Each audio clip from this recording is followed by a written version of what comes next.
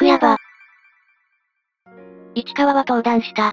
過去の自分を見続け、勇気と自信を失った男の子は、人前に出ることを怖がった。挫折、失敗、プレッシャー。対比は輝いていた過去。市川はその姿を追い求めていた。髪を切り、変われた自分。だが、それもメッキ。すぐに元通りになる。吉田に変えられた髪型は、山田によって、変えられた。普段と変わらない自分。市川が、好きと思った山田。山田はそれを形作る。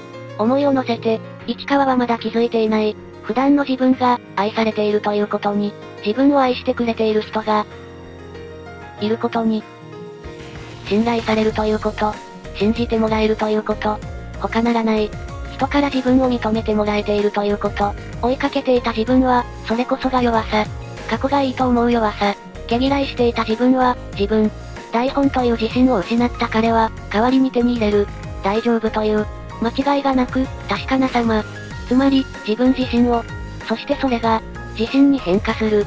自信とは、自分の能力や価値を信じること。他人から認められたのだ。あとは、自分を愛することだけ。自分で自分を認めることだけ。山田と一緒。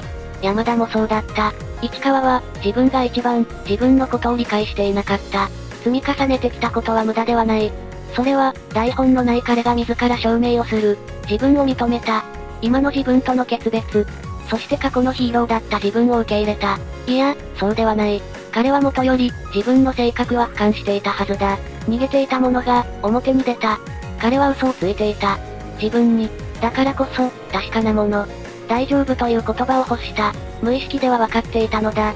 自分が嘘をついていたことを、おそらく解釈としてはこれが正しい。南海の嘘と市川の嘘に繋がるからだ。山田の持つ、秋田健太郎。私はアニメ13は考察で、これは名前であるとした。山田の名前。つまり山田自身だ。生まれて初めてもらう贈り物。名前。自分自身を認識できるもの。今、市川の手にある。だからこそ、君は僕で僕は君。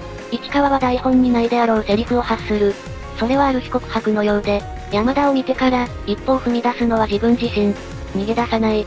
嘘は実に、その両方が、自分だったから、市川は完全に認めた。自分を、光と出会ったから、友であり、恩師であり、経験である。君であり、僕でもある。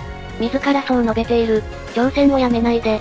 自分を好きになって、それは山田のことでもあり、自分でもある。すべての出会いが宝物でありますように。自分の中に、すべての君と僕を宿した。それらを教えてくれたのは、山田。君が教えてくれた。確かならば、凄まじい脚本構成。脱帽の一言。ヘロヘロになった市川は、保健室へ運ばれる。南海の告白。市川は山田に秋田健太郎を返す。自分でもあり、山田でもある名前を。南海は市川のそばで告白する道を選んだ。市川は南海の告白を聞く。自分と同じと呟いた。尊敬している。本心であろう。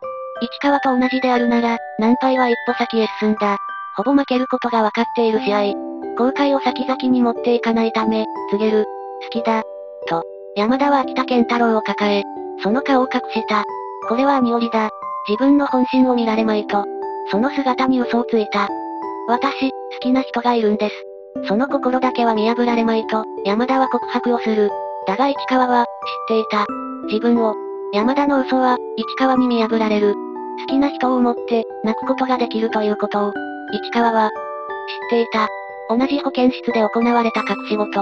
人を好きになり、自分を好きになる。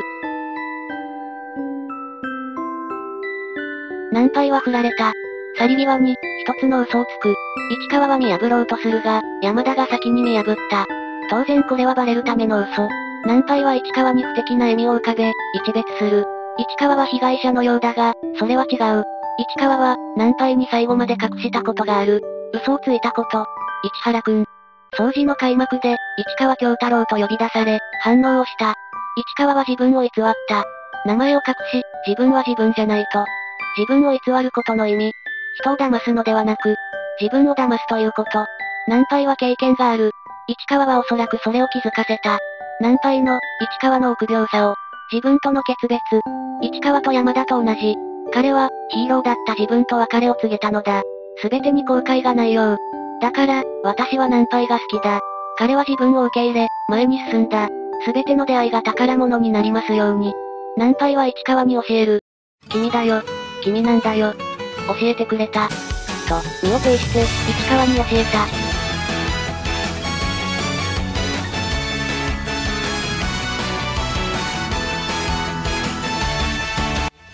今回収益化はいたしません。今回導入されているイデアと心は、4月は君の嘘だ。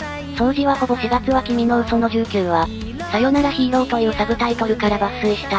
4月は君の嘘は、ピアニストの主人公と、バイオリニストのヒロイン、仲間、ライバルたちとの支え合いに重きを置かれている。そもそも話の筋が似ている作品ではある。過去に栄光があり、っかけがあり挫折して、一人の女の子との出会いが変えていく。今回、偽りの自分がクローズアップされ、その嘘を他の人たちが解消していくという支え合いが書かれていたように思う。偽りの自分もまた自分。過去があるから。今があると。君だよ。君なんだよ。教えてくれた。市川の掃除は、こう見ると本当に素晴らしいと思う。本人だけが気づいていない支え。周りは温かく迎え入れ、自分だけが受け入れられない。もう隠さないで。どんな過去も輝いて、君を、照らすから。光に、出会えたから。曲名はスカルなら、イマジナリーの登壇シーンでは、ピアノの楽曲が流れる。それはまさに4月は君の嘘のようで、4月は君の嘘は、タイトルの通り、ある一つの嘘が最後に明かされる。ヒロインは病でこの世を去るのだが、主人公に近づいた理由が、嘘であった。というものである。ヒロインは、他の子が好きと言って近づいたが、最初から主人公が好きだった。というオチである。そして、亡くなった後も主人公の心に残り続ける。主人公がその事実を知ったのは、亡くなった後の手紙。そこに告白が用意されていた。初めから、うまくいかないことが分かっていたのである。ナンパイシス。だが、兄よりに残された嘘は、市川の心に残る。市川が掃除の決心をしたのもナンパイがきっかけ。掃除を送ったのは市川。掃除がなかったら、自分を取り戻せなかった。ライバルでありながら、支え合う。これ自体が4月は君の嘘そのままなんだ。さよならヒーロー。それは偽名だった。だが、心に残るのは、お帰りヒーロー。どちらも作中にあるセリフだ。ナンパイは素晴らしいかませを演じた。そして、互いに自分を取り戻して違う道を進む。このかませのようなヒーローに最大の賛辞を送りたいと思う。最後に映るのは、桜。4月じゃない嘘。3月。これこそがこの作品の嘘であったのではと思える。4月。新たな自分が動き出す。本当の自分が、満開まであと少し。ちなみに4月は君の嘘は、ヒロインが亡くなったことにより、全員が片思いで終わる。間宮先輩はわかるとして、萌え子ももしかしたら、そうなのかもしれないな。最後に、私は制作関係者ではない。だが、ある種の実感がある。教えてくれたから。いつもそばにいてくれる人がいて、私はその人を思うと涙が出る。色々とうまくできなくて申し訳ない気持ちもある。私にしかできないこと。それもあるはず。どうか長い目で見ていただけると嬉しいです。いつもありがとうございます。熱くお礼申し上げます。それでは今回はここまでです。ご視聴ありがとうございました。動画制作の励みになりますのでチャンネル登録、高評価、コメント等ぜひお願いします。それでは次回もまた、ゆっくりしていってね。